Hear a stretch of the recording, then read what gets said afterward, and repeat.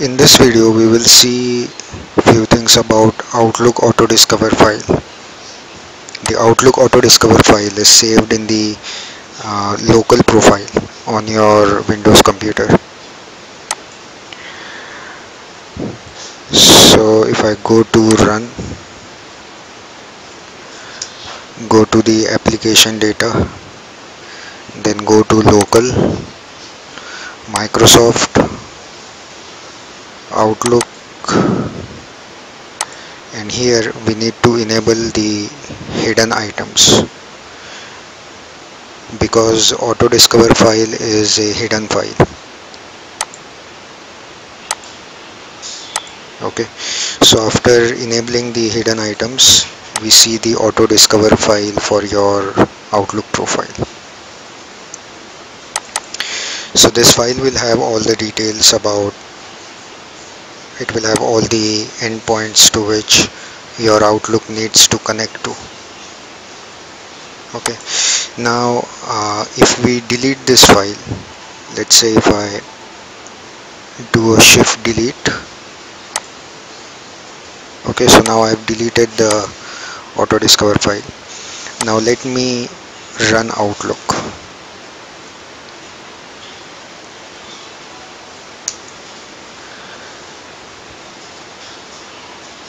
so now I have opened up Outlook. Outlook has connected to Exchange.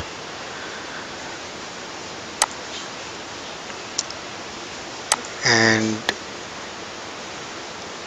we should be able to see the Outlook auto discover file here now.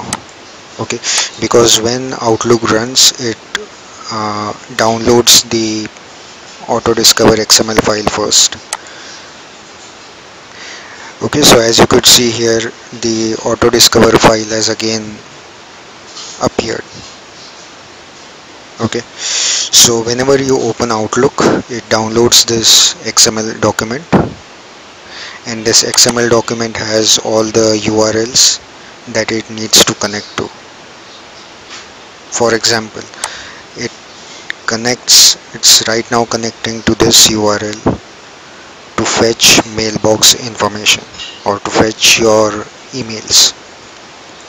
Okay this is the URL for mail store.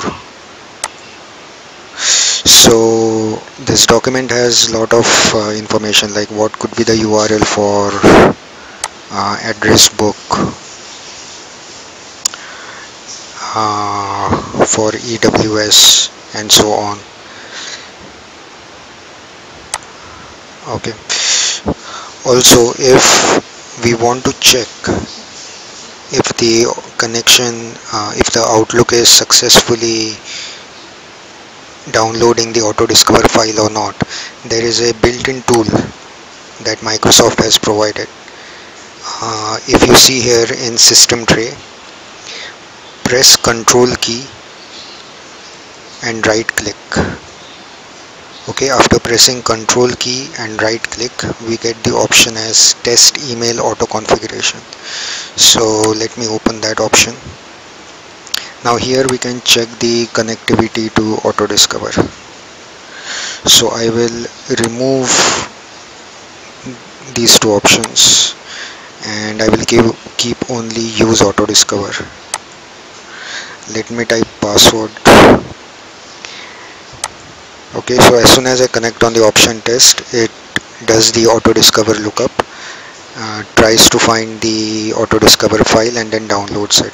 So if I go to log section here I will see it says succeeded and it's it's also giving me the link for the autodiscover.xml so it has downloaded this XML file from this link if you see this as succeeded that means there is no problem with the auto discover if you do not see here as succeeded that means uh, auto discover fails probably because outlook is not able to reach to the correct url for auto discover okay.